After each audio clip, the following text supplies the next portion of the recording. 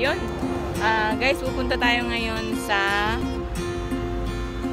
QDC. Ah, bibili tayo ng pork. Okay? So, nandito ako ngayon. Kasama ko si Mr. Raj. Mr. Raj is uh, our friend here in Qatar. Kasi ang aking uh, asawa is wala. So, magdadrive siya for us papuntang QDC. Bibili tayo ng pork. And meron dong mga wine and all of that. So, napakainit dito ngayon. Uh, now it's 42 degrees. This is Raj from Punjab. Punjab from India. Where is Punjab, Raj? Uh. Near Pakistan? No, it's. Uh, it's not in the border of India and uh, Pakistan, no. Pakistan. This is TikTok, man.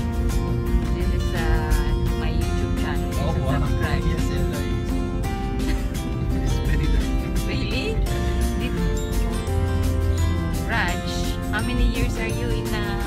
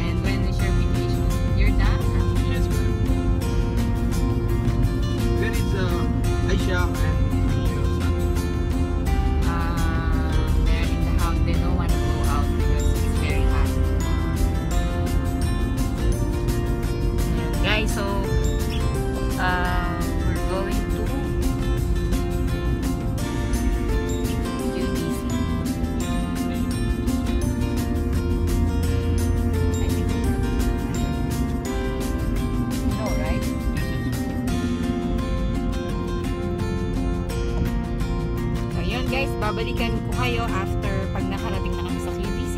Thank you. Ayun guys, actually wala. Sarado ang QVC. Hindi kami nakabili. Um, thank you Raj for driving me. Although the wasn't able to buy whatever we wanted to buy. So, see you again next